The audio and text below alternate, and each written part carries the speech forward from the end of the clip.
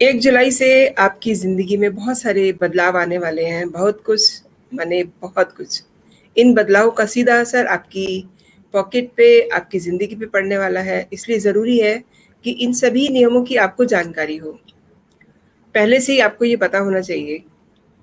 आ, ये बदलाव जो है मैं आपको बताने वाली हूँ। बहुत ज़रूरी बदलाव हैं। आपको बहुत आ, सारी जानकारी इसके बारे में देने वाली हूँ। आप पूरी वीडियो देखिएगा। क्योंकि ये सारे बदलाव जो हैं, आपकी ज़िंदगी बदलने वाले हैं। अगर आप पूरी वीडियो नहीं देखिएगा तो आपको पूरे बदलाव भी पता नहीं चलेंगे। एक और बात, अगर आप पहली बार मेरे चैनल एम बी स्पीक्स पे आए हैं तो आप इसको सब्सक्राइब ज़रूर कीजिएगा। तो चलिए वीडियो की ओर बढ़ते हैं कि क्या क्या नियम बदलने जा रहे हैं, किस तरीके से आपकी ज़िंदगी बदलने जा रही है। एक जुलाई से आईडीबीआई और एसबीआई ने काफ़ी सारे चेंजेस किए हैं, जो एसबीआई ने चेंज किए हैं, पहले वो है वो आपको बताती हूँ। एक जुलाई से एटीएम से पैसा निकालने और चेकबुक का इस्तेमाल करने पर ग्राहकों को एक्स्ट्रा चार्ज देना होगा। Basic saving account deposit account पर भी ये नियम लागू होंगे। एसबीआई के एटीएम या ब्रांच से चार बार से अधिक पैसा निकालना तो फ्री होगा, लेकिन इसके बाद अगर आप फ्री लिमिट के बाद आप कैश निकालते हैं तो पंद्रह रुपये और जीएसटी देना होगा। इसके अलावा आपकी चेकबुक लेने के लिए भी आपको ज़्यादा चार्ज देना होगा।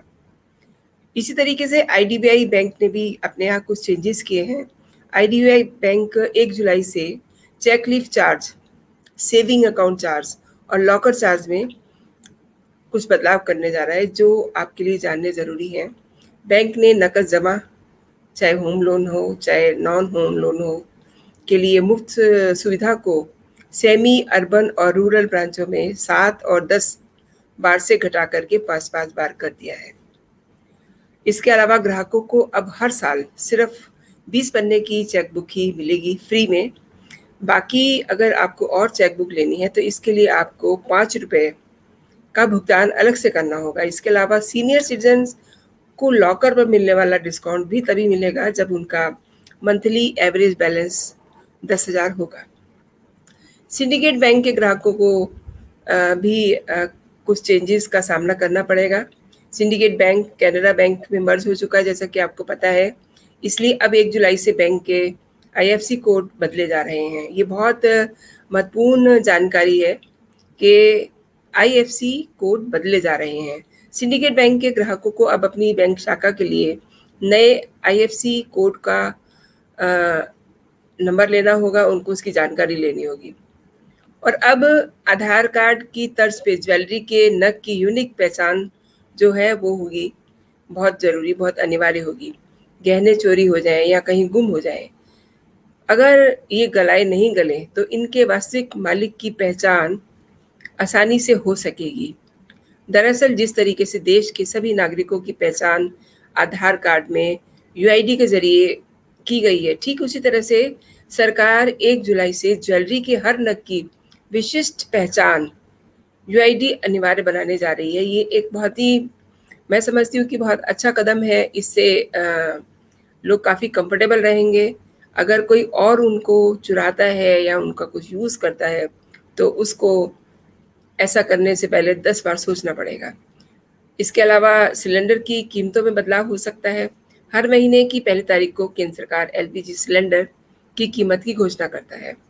पिछले महीने सरकार ने 19 किलो वाले कमर्शियल सिलेंडर के दाम एक सौ बाईस रुपए की कटौती की थी और छोटी बचत यानी कि स्मॉल सेविंग में निवेश करने वालों को झटका लग सकता है। सरकार ने अप्रैल जून की तिमाही के लिए सभी मार्च में इनमें सभी के लिए इनमें मार्च में इनकी ब्याज दरों में कटौती की है। लेकिन बाद में इस कटौती को वापस ले लिया था।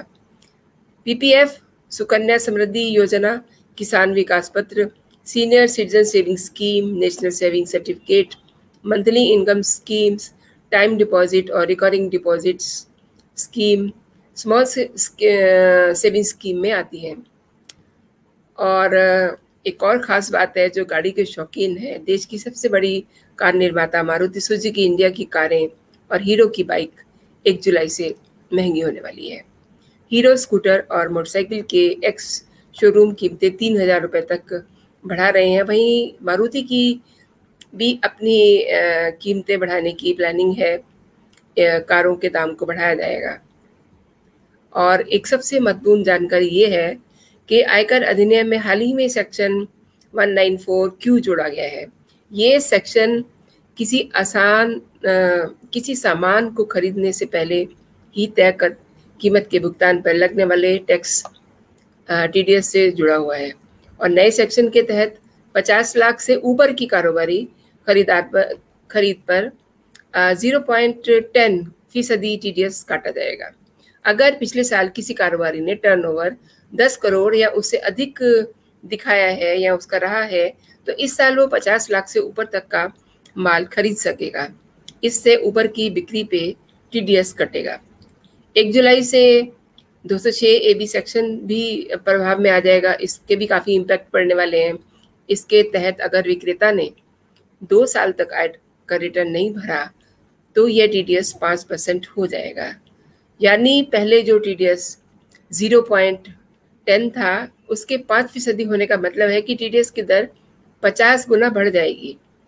और अब एक और बहुत ज़रूरी मैं आपको जानकारी देने वाली हूँ। लर्निंग लेसन्स बनवाने के लिए आपको आरटीओ जाने की ज़रूरत नहीं पड़ेगी। आप ऑनलाइन ही आवेदन करके घर बैठे हुए टेस्ट भी दे सकेंगे और टेस्ट में पास होने के बाद अपना लर्निंग लाइसेंस घर बैठे बैठे प्राप्त कर सकेंगे। हालाँकि स्थायी लाइसेंस के लिए टैग पर वाहन चला करके ही दिखाना पड़ेगा। तो ये सब बदलाव हैं जो कल से आपकी ज़िंदगी में आने वाले हैं। और आपकी ज़िंदगी में, ज़िंदगी को बहुत बदलने वाले हैं। इसमें कुछ कंफर्टेबल हैं, कुछ अनकंफर्टेबल हैं।